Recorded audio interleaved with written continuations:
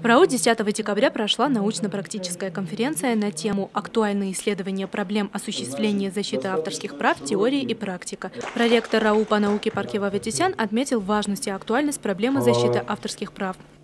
Эти проблемы сегодня действительно сильно актуализированы. Поэтому я искренне и очень рад и рад войне, что такое важное мероприятие проходит в стенах нашего университета. Я приветствую всех гостей, Э, всех участников, э, всех людей, которые вот э, на уровне исследования, на уровне практики занимаются столь важной проблематикой, которая сегодня, будем говорить, будоражит многие умы, как в правовой сфере, так и в различных смежных отраслях науки, искусства, вообще творческой деятельности. А проблема защищенности интеллектуальной собственности – оценка, она очень сильно актуализирована. Э, как обстоят дела в Армении, хотелось бы, конечно, э, услышать. Здесь я вижу людей, которые руководят и центрами. Низяна Саркиса, я приветствую людей, которые задействованы на различных уровнях.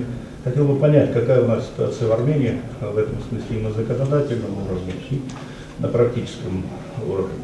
Գիտությունը առանց մտավոր սեփականության ըստ էության ապրել չի կարող, եթե ինքը առանցին ապրի, ուրեմն ազգը դրանից ոչ մի բան չի շահի։ Հետևաբար, որպի որպիսի գիտության գիտությունը կոմերցիալիզացվի առևտրայնացվի ու երկիրը ազգը դրանից շահի, մեզ պարտադիր պետք է մասնագետներ այս բնակավարի, պարտադիր նաև մենք պետք է զբաղվենք իրազեկության բարձրացման, որպեսզի հասարակությունները իմանա, հասկանա թե ինչու է պետք պաշտպանել առանձին հերինակի յուտարարի իրավունքները, որ դրանից եւ հասարակությունն է շահում, եւ պետությունն է շահում։ Կար նաև միջազգային փորձ արտի երկրի ազարգացած երկրներում չկա գրեթե մի բուր, որը որ չունենա առանձին ներքին իրավական ակտ կարգավորող մտավոր սեփականության իրանքի հարցերը, այնպես որ դա եւս ակտուալ է եւ վստահ եմ, որ բոլոր բուհերին Հայաստանում դա եւս անհրաժեշտ է։ Եթե միջազգային փորձ ուսումնասիրենք, զարգացած երկրների փորձ ուսումնասիրենք, տեխնոլոգիապես տեխնոլոգիապես զարգացած են այն երկրները եւ ամենահարուստ երկրները, եթե ցանկով ուղղակի մենք ուսումնասիրենք,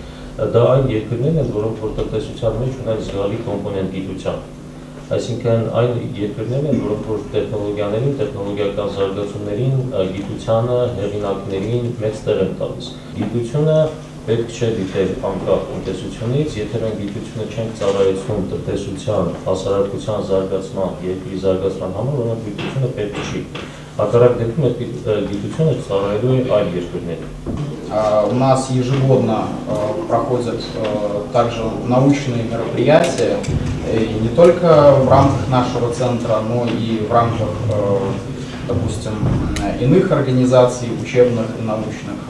И хотелось бы пригласить вас принимать участие в научных мероприятиях, проводимых в Республике Беларусь. Ну, в качестве примера могу привести ежегодную конференцию «Вклад э, молодых ученых» в развитие правовой науки. Она, как правило, проводится осенью. Отношения, которые возникают э, в связи с деятельностью организаций по коллективному управлению имущественными правами э, правообладателей, авторов, значит, регулируются международным договором в рамках ЕАС. Значит, здесь необходимо подчеркнуть тот момент, что в связи с этим коллегия Евразийской экономической комиссии одобрила проект соглашения о порядке управления авторскими и смежными правами на коллективной основе. Это произошло 14 апреля 2015 года. Статья 1 проекта данного соглашения определяет, что государства-члены предусматривают возможность создания организаций по коллективному управлению правами в сферах, определяемых законодательством этих государств. При этом а, статус таких организаций, их организационно-правовая форма а, остается на усмотрение конкретного государства, участника договора о ЕАЭС. Организатором мероприятия является кафедра гражданского права и гражданско-процессуального права РАУ. В работе конференции приняли участие специалисты в области защиты авторских прав, приглашенные гости РАУ, преподавательский состав, а также студенты и аспиранты вуза. В рамках конференции состоялось также подписание соглашения о сотрудничестве между Российско-армянским университетом и Национальным центром законодательства и правовых сфер Республики Беларусь.